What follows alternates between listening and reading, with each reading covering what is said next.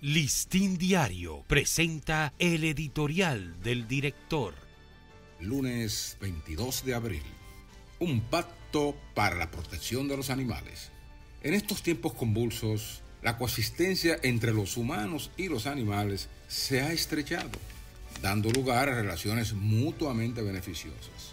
Aunque se producen casos de abusos y actos crueles, hay ahora más conciencia en la humanidad de la necesidad de proteger a las especies del reino animal, sobre todo a las susceptibles de ser domesticadas.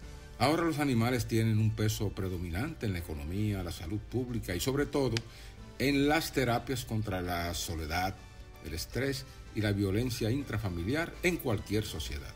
Ya forman parte esencial en las vidas de familias, de niños y mayores, y en el mundo rigen leyes que castigan los abusos contra los animales casi con la misma dureza que en los casos de humanos.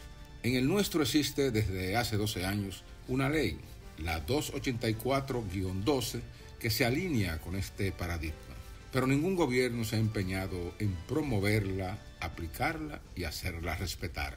Listín Diario, sensibilizado con esta realidad, ha instaurado su sesión Espacio Animal para ayudar a la promoción de normas protectoras.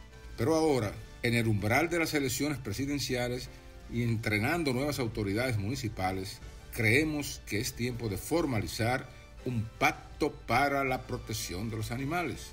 Invitamos a la Federación Dominicana por los Derechos de los Animales, FEDA, a los líderes de partidos políticos, a los candidatos presidenciales y alcaldes, así como a los sectores vinculados, a sumarse a este pacto.